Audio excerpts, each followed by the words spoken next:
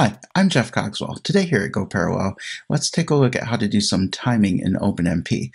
Now, in a previous video, I did some timing with threading building blocks, and I used some functions that are built into threading building blocks.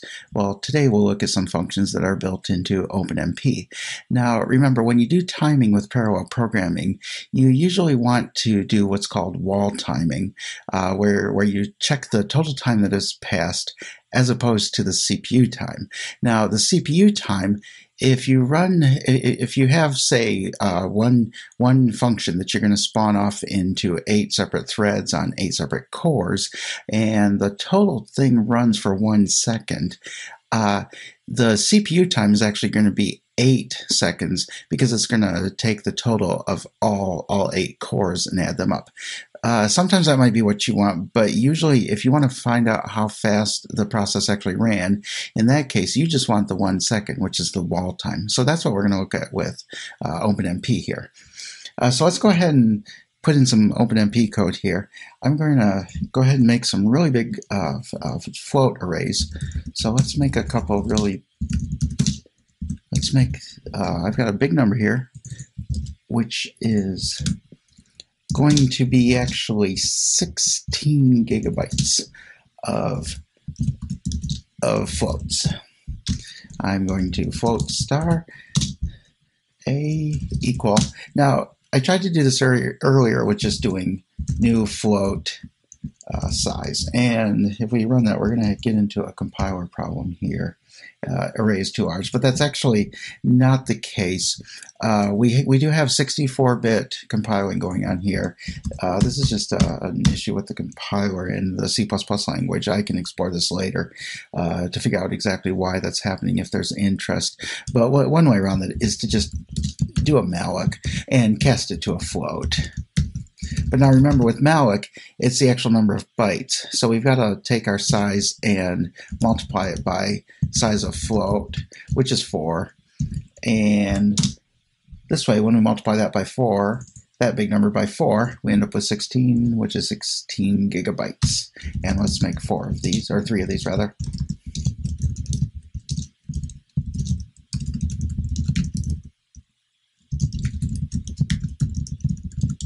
And one more and I'll just copy it. And now we've got our memory allocated. I'm on a massive processor and computer here where I've got uh, 64 gigabytes available to me. So I've got three of these 16 gigabytes of uh, arrays, float arrays, and so they will fit in memory. And then let's go ahead and create two doubles, start time and end time. I'm going to set my cout precision to 8 for my doubles. And then I'm going to go ahead and do some parallel coding here. Now for OpenMP, to do a parallel for, we do pragma OMP parallel for. And then we go ahead and do our, our loop. Uh, for this first loop, I'm just going to go ahead and fill this these each of these arrays. Oops, I got pragma on here.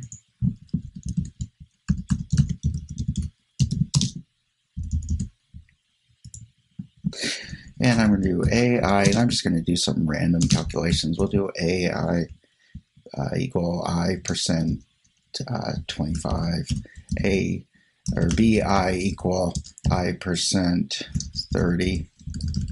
That's the modulus. And then CI will just initialize to zero because we're going to fill that up. It doesn't really matter. We don't need to initialize it, but we'll go and do that anyway. And then down here, I'm going to do another loop.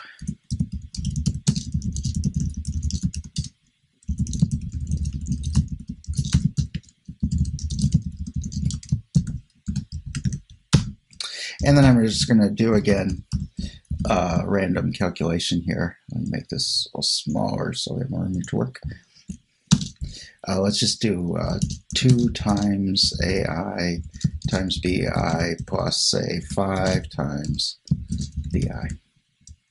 Okay, now let's go ahead and uh, do some timing here. We can run this, but we'll put the timing in right now before we get started we call OMP get W time. Now we can only use this if we've got this header file, which I added before I started the video, uh, omp.h, and Visual Studio finds it for you pretty easily. Uh, make sure that you turned on, get into your properties up here, that you turned on your, uh, down here in the Intel, OpenMP support generate parallel code.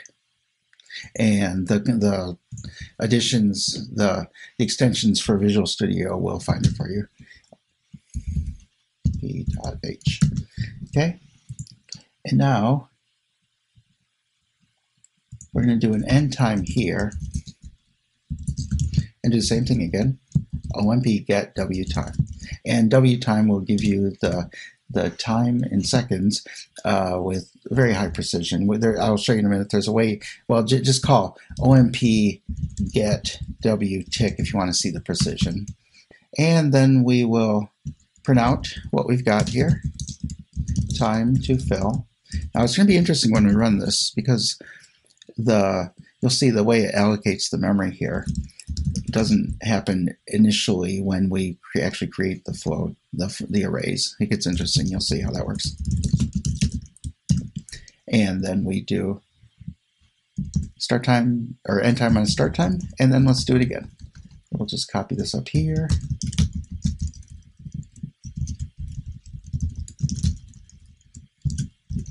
And time to calculate.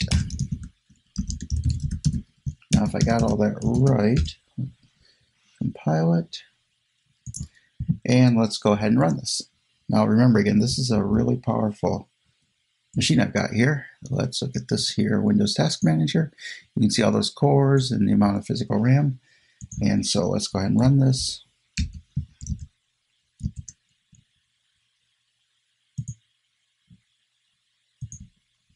Now you can see that the memory is going up. This is actually happening as we do uh, the initialization, uh, that first loop.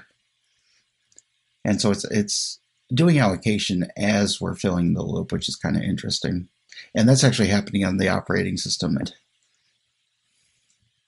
It's good to go ahead and run through the loops like this for performance uh, because that way uh, you'll, you'll get all your memory allocated and it won't impact the when it's time to do the actual calculations because you can see the the fill time took 33.015366 seconds, and the calculation time took only 1.5222 or 1.5227 uh, seconds, and that's it. The we have we called get w time before and after each loop, and we did the difference, and it gave us the amount of time that passed. Now you can see here we did uh, four billion uh, calculations of this calculation right here in 1.5 seconds. And thanks to OpenMP, it was able to spread it out across all these cores here and run it much faster than it otherwise would have. And so now we, if we wanted to, we could run the same program on a smaller machine and get a pretty accurate comparison since this is a, a very precise uh, timer for us. So that's how you use the timer in OpenMP.